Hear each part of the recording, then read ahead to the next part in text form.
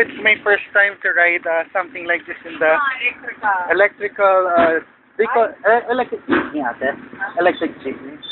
So, oh, it's an, it's an e-car and battery operated. So it's really more fun in the Philippines. And even um, for the LGBT, parang sabi ko, I'm advocating for them to also help in their own small ways. Ha? Kasi sometimes you want to give also, pero my mother would tell me, yung access, ah, ang hirap kung walang tracking at saka airplane. Eh, minsan ang dami ng mga donations. But kung, kung paano makakarating, and it's nice na last night I was watching Solar Channel and they featured this thing.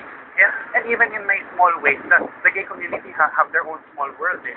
Pero in, in our own ways, parang sabi ko, sabi ng lady, kulang pa daw. Sabi ko, sabi ko, sabi ko, in our own small ways, sabi ko, we really love them. Ayan, punta ka Ah, dyan. okay. Teka, Sige. dito ka na bumaba. Okay, so Yan mga ate, they're going, uh, thank you sa sakay and like I will upload this sa Facebook para we can get more of uh, everything.